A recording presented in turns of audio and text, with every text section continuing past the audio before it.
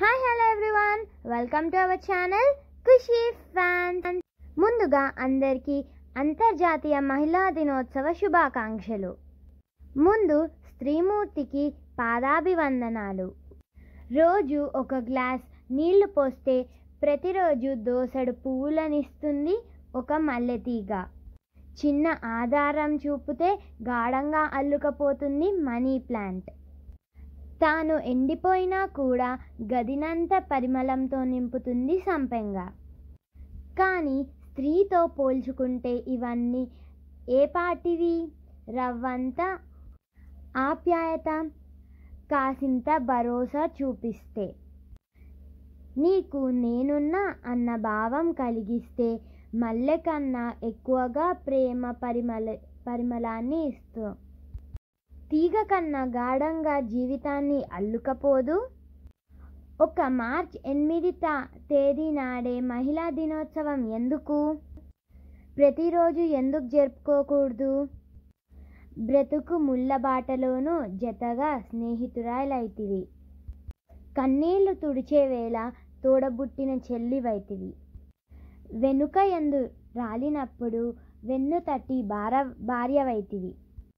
పురిటి నొప్పులు తెలియని పురుష జాతికి తల్లివైతివి కష్టంలో ముందుండి సుఖంలో క్రిందుండి బాధలో ప్రక్కనుండి విజయంలో వెనకుండి.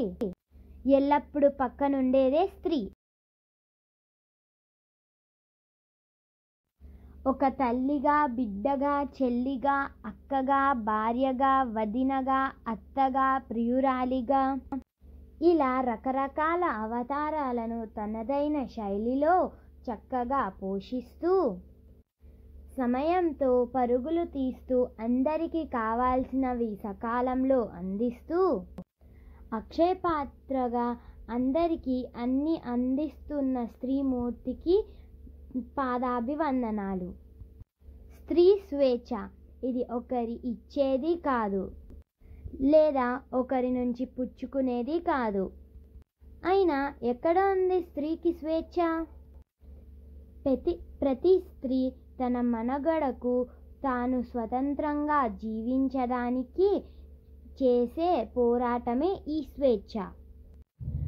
కాలం మారిందంటారు కానీ స్త్రీలు ఇప్పటికీ బంధితులే. ఆ బంధనాలు స్వభావం మరి మారిందంటే ఒకప్పుడు తల్లిదండ్రులు ఆ అమ్మాయిలకు బాల్యంలో ఎంత స్వేచ్ఛనిచ్చినా ఒక వయసుకు వచ్చాక ఆమెను కట్టడి చేసేవారు.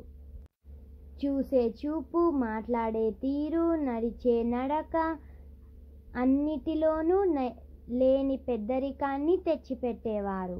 ఇంటి పరువు ప్రతిష్టలు నీ చేతిలో ఉన్నాయమ్మా అనేవారు.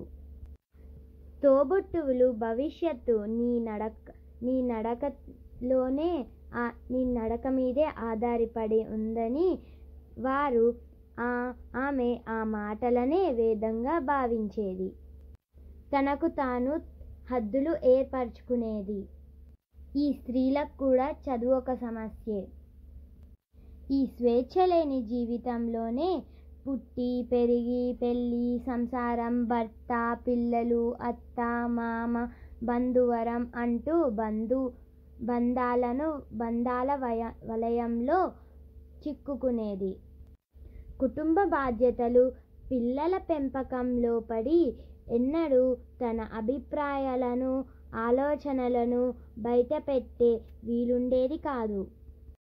ఆఖరి నిమిషం వరకు ఆ పరిధిలోనే జీవించేది. ఆ ప్రపంచంలోనే తనవు చాలించేది. ఆ కట్టుబాటులు దాటాలని కానీ ఆ సమస్యలపై పోరాడాలని కానీ ఆమెకు ఆలోచన లేదు. తాను అణిచివేతకు గృహహింసకు గురి అవుతున్నా ధైర్యం చెయ్యదు సరికదా?